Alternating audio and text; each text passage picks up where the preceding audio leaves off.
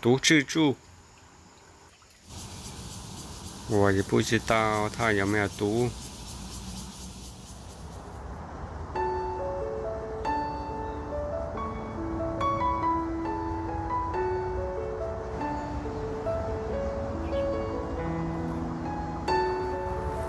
我看到一个宝物，莲花，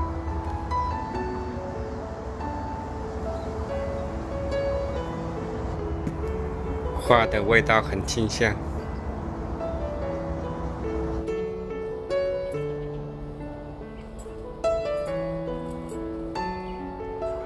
荷花树全身都是宝，都可以入药。荷花养颜，荷梗清除痛气，荷地安胎止泻，连续清心益生，莲房善益止血，莲子安神，莲藕益脾胃。莲叶止咳瘦身的功效。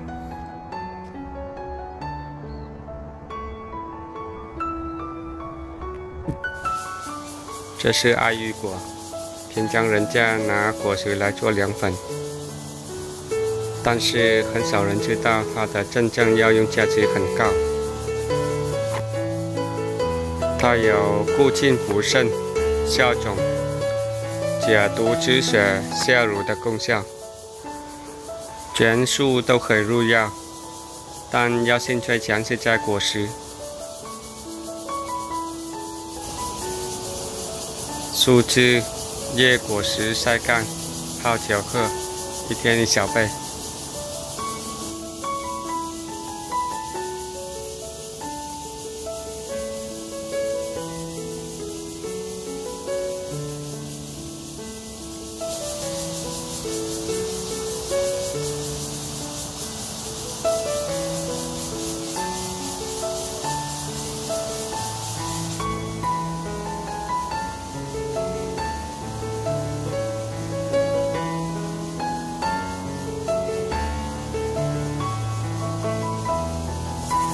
这是乡下人，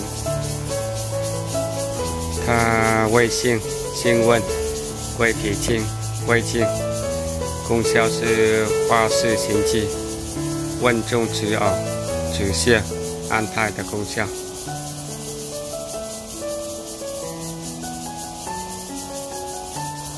常用于脾胃虚寒、吐泻。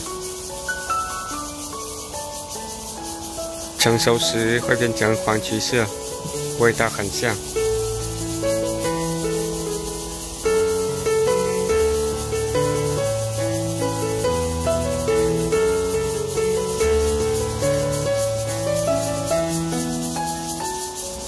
使用的部分是果实，主要是里面的籽。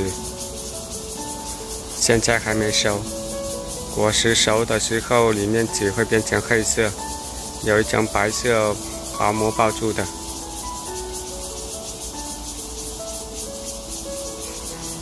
好多蚂蚁。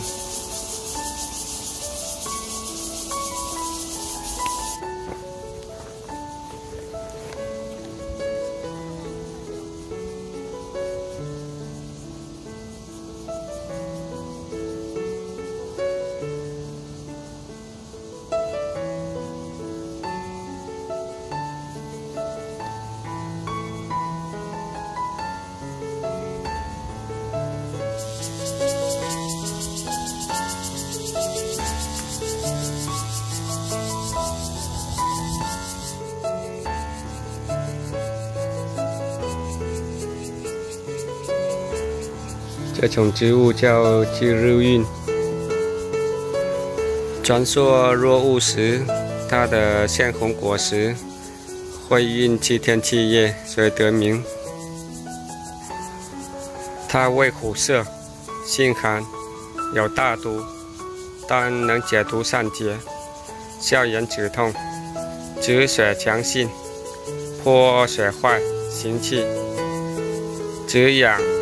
地上的功效，能治跌打损伤、麻风病、乳癌等症状。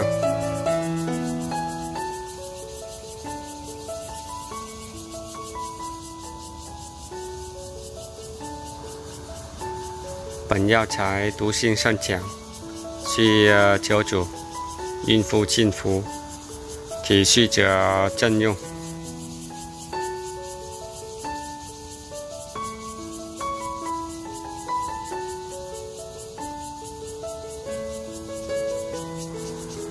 蚂蚁在搬家，应该准备要下大雨了。蚂蚁会感受到会有下大雨来临，所以都会搬到高处，避免衣物会被淹水。这是蝉蜕，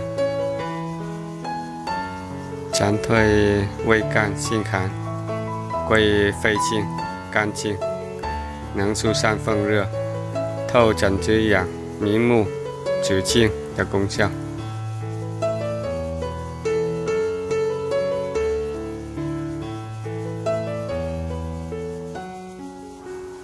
这是什么蘑菇？长这么大？不知道这是什么种类的。大家有谁知道这是什么种类的菇吗？可以告诉我吗？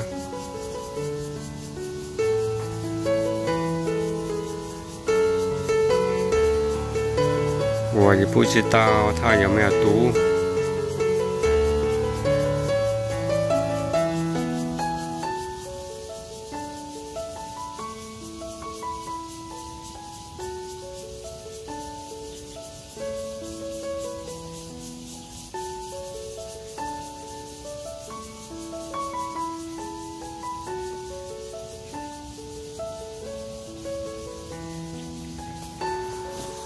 这是八岐天，味甘性，性味温，归肾经、肝经，功效是补肾阳、强筋骨、祛风湿，用于肾阳虚弱的阳痿、不孕、月经不调、少腹冷痛等。能啊，温肾壮阳益精，治阳痿、不孕。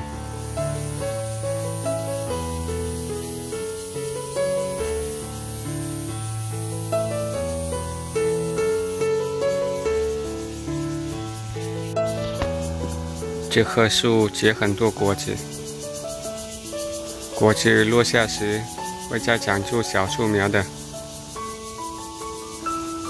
入药的部分是根部，我们都会沿着它的藤蔓找到它的根部，再来挖根的。